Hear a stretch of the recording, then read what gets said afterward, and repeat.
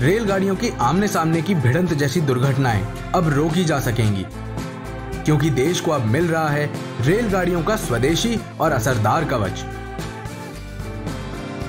कवच नाम है उस टेक्नोलॉजी का, जिसे मेक इन इंडिया के तहत रेलगाड़ियों की आमने सामने की टक्कर जैसी दुर्घटनाओं को रोकने के लिए विकसित किया गया है। इस शानदार स्वदेशी कवच टेक्नोलॉजी का परीक्षण केंद्रीय रेल मंत्री श्री अश्वनी वैष्णव की मौजूदगी में सफलतापूर्वक पूरा कर लिया गया है। आइए, आप भी देखिए। पचास का स्पीड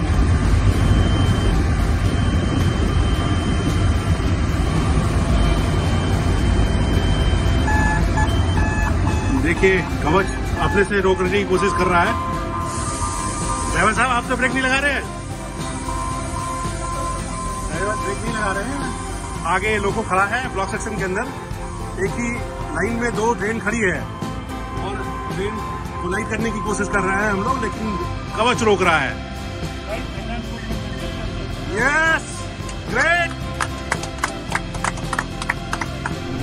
ये एक ऐतिहासिक दिन है। जब केंद्रीय रेल मंत्री श्री अश्वनी वैष्णव स्वयं उस ट्रेन पर सवार हैं, जिस पर कवच टेक्नोलॉजी के साथ आमने सामने की टक्कर रोकने का परीक्षण किया जा रहा है।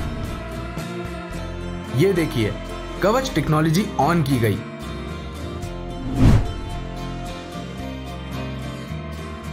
कवच तकनीक की वजह से ही ट्रेन के ब्रेक अपने आप ही लग गए।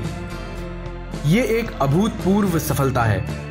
कवच टेक्नोलॉजी के सफल परीक्षण के साथ ही आत्मनिर्भर भारत के लक्ष्य को पूरा करने में योगदान दे रही भारतीय रेल अब ज़ीरो एक्सीडेंट के लक्ष्य को हासिल कर सकेगी।